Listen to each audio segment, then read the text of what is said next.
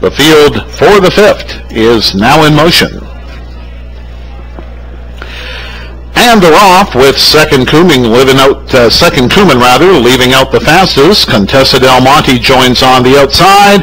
And then it's Striking Pat who gets into the thick of it early here. Four o'clock tee is right up there as the field drives on to the opening quarter. Now going off on a break, that's four o'clock tee, so things getting a little unsettled here. The race leader is Contessa Del Monte, and already Hendrickson's on the move with striking Pat. They went the opening quarter in 30 seconds. A very unsettled field arrives in front of the stands for the first time, and who should be going by three wide at three eighths?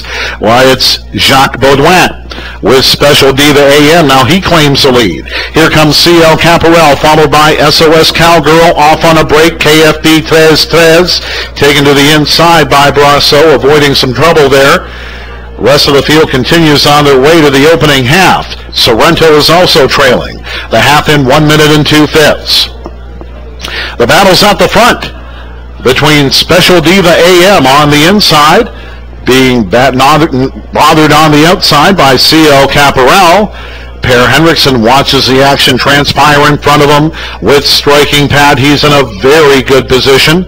And to his direct outside is Lakai with Contessa Del Monte towards three quarters.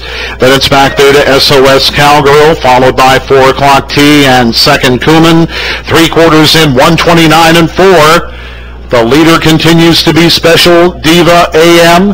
Waiting in the wings is striking Pat. Three wide move for Contessa Del Monte. Contessa Del Monte showing lots of late trot. Looking for the passing lane will be striking Pat in the final 16th. Special Diva AM is under attack. Up the inside, striking Pat, trying to make its debut, a winning one, and it will be. Striking Pat takes it in 201 flat over Special Diva AM. It was tight for show.